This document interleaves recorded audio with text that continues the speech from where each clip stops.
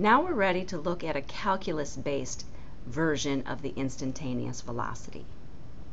We've already defined our instantaneous velocity to be the velocity at a specific point in time, given the symbol v. And we can compare this to the average velocity where we were working with a time span. Now graphically, when I was looking at the average velocity over a particular time span, I could connect two individual points and the slope of that line define both the time span and the displacement, giving us our average velocity. Well, if I reduce that time span but keep my same initial point, what I find is that as I reduce it, it changes the slope. But that slope is approaching a value which is the tangent to the curve at that specific point in time. To put it into words, as the time span gets smaller, the estimate of that tangent gets better. And the exact value would happen when the time span goes to zero. Now mathematically, we represent that as the limit as delta t goes to zero of dx divided by dt.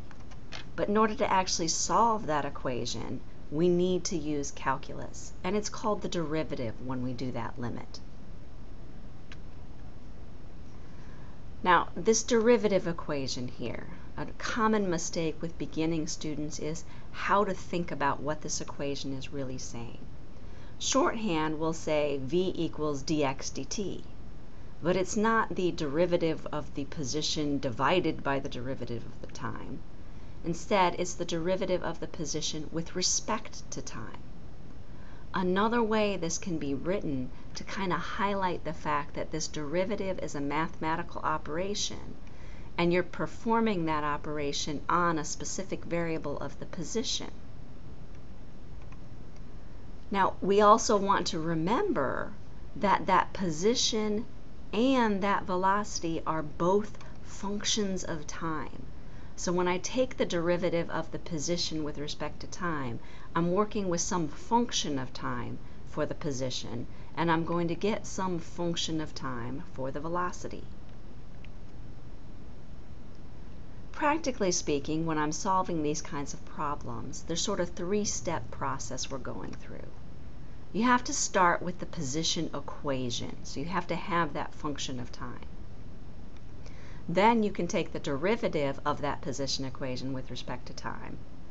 And then you evaluate that at specific times to get the velocity at a specific time. Start off with the position equation. Here's one example we could use, and this is a simple polynomial type equation. Now a lot of textbooks will sort of strip out the units for you so you can see very clearly that this is a function of time. Don't forget, however, even if you're working with this simplified form, that these are physical quantities and they really do have units associated with each and every one of those numbers. Once we've got our equation, then we can take the derivative with respect to time. So you can think of it as here's your derivative operation symbol and you just plug in your function of position with respect to time. Now if you're well practiced on your derivatives then you would simply see that this derivative works out to be this equation. You may need to practice this a little bit though to remind yourself that that 2 meters is a constant so the derivative disappears. The 3t becomes just 3 the 4t squared becomes 8t.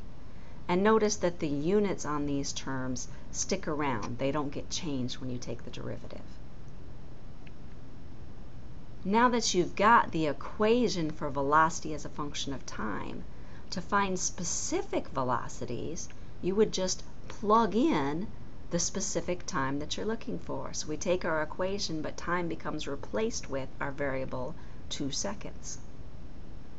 And as you multiply this all out, we would find that I've got 19 meters per second. Now here's where I say keeping your units in gives you an advantage because you can double check that yes, these really do have the correct units when I work everything out. And as I plug that in, it has the dimensions that I expect for a velocity. So that's your introduction to instantaneous velocity from a calculus-based perspective. You'll get plenty of practice working with this.